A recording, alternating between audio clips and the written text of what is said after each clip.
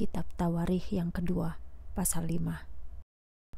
Maka selesailah pembangunan bait Allah itu. Kemudian Raja Salomo membawa persembahan-persembahan yang diserahkan oleh Raja Daud, ayahnya, kepada Tuhan, yaitu segala barang kudus, emas dan perak. Lalu ia menyimpannya di dalam perbendaraan bait Allah. Tabut perjanjian Tuhan dipindahkan ke bait Allah. Raja Salomo memerintahkan agar segenap pimpinan Israel, yaitu para kepala suku dan kaum, berkumpul di Yerusalem untuk ikut dalam upacara memindahkan tabut perjanjian Tuhan dari kota Daud, yang juga disebut Sion, ke bait Allah, tempatnya yang baru. Upacara itu diadakan pada bulan ketujuh atau Oktober, bertepatan dengan perayaan Hari Raya Pondok Daun. Ketika seluruh pimpinan Israel berkumpul, orang-orang Lewi dan para imam mengangkat tabut perjanjian Tuhan itu dengan segala barang kudus yang terdapat di dalam kemah pertemuan. Lalu di hadapan tabut perjanjian Tuhan itu, Raja Salomo dan umat Israel mempersembahkan domba dan sapi, demikian banyaknya, sehingga tidak terhitung jumlahnya. Lalu para imam membawa tabut perjanjian Tuhan itu ke ruang di sebelah dalam bait Allah, yaitu ke tempat maha kudus, dan meletakkannya tepat di bawah sayap keruk-keruk. Sayap-sayap itu terbentang di atas tabut perjanjian Tuhan dan tongkat-tongkat pengusungnya.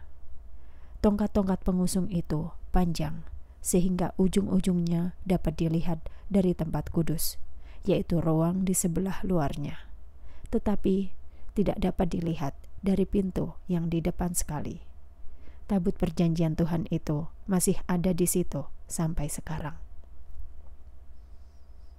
Dalam tabut perjanjian Tuhan itu tidak ada apa-apa kecuali kedua loh batu yang ditaruh Musa di dalamnya di Gunung Horeb. Pada waktu Tuhan membuat perjanjian dengan umat Israel yang baru keluar dari negeri Mesir. Setelah para imam selesai melakukan upacara penyucian bagi diri mereka sendiri, mereka turut mengambil bagian dalam upacara itu dan dibebaskan dari tugas pelayanan masing-masing pada hari itu. Demikian pula orang-orang Lewi yang hadir di situ turut memuji Tuhan ketika para imam keluar dari tempat Maha Kudus.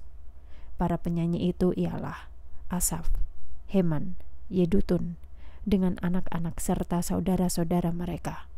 Semuanya berpakaian lenan halus dan berdiri di sisi timur mesbah mereka bernyanyi memuji Tuhan, diiringi 120 imam peniup nafiri, sedangkan yang lainnya memainkan ceracap, gambus, dan kecapi. Pemain musik serta para penyanyi bersatu untuk memuji dan mengucap syukur kepada Tuhan. Lagu-lagu pujian mereka diiringi dengan bunyi nafiri, bunyi ceracap, serta alat-alat musik lainnya. Semuanya memuji dan bersyukur kepada Tuhan mereka memuji Tuhan dengan berkata, "Ia sungguh baik, kasih serta kemurahannya untuk selama-lamanya."